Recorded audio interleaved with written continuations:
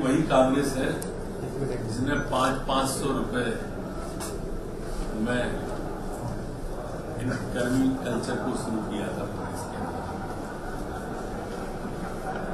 हमारे मुख्यमंत्री माननीय शिवराज सिंह चौहान ने उस कर्मी कल्चर को समाप्त किया और आज सत्रह हज़ार रुपये से अधिक वेतन हमारे सभी समुदाय शिक्षक के लोग पा रहे हैं।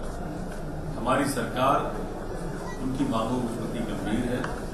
अभी पिछले महीने उनके जो पदाधिकारी थे सबके साथ बैठ करके माननीय मुख्यमंत्री जी के साथ बैठ करके मेरी भी चर्चा हुई माननीय मुख्यमंत्री जी की चर्चा हुई और पूरी हमारी सहानुभूति उनकी बेहतरी के लिए क्या कब कैसे और कितना अच्छा हो सकता है हमारा लगातार संपर्क में हम सभी संगठनों के और आगे भी संपर्क में रहेंगे। कांग्रेस को जिसने कर्मी कल्चर से पाँच सौ रुपये में शुरू किया था जब लोग से और व्यंग्य करते थे कि गंगा कहाँ से निकलेगी इस तरह के व्यंग प्रदेश के अंदर आए थे।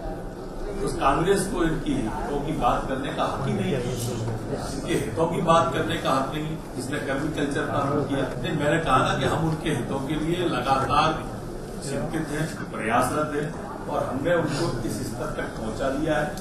और भी आगे क्या बात है, उनके प्रति निश्चित रूप से हमारे सम्मानित विधायक अगर कोई सवाल पूछते हैं जिसमें वो लिखित में उत्तर मानते हैं उनका जवाब दिया जाना चाहिए। विधायक कई तरह के इस तरह के भी पत्र लिखते हैं जिसमें वो कोई डिमांड करते हैं या जानकारी देते हैं।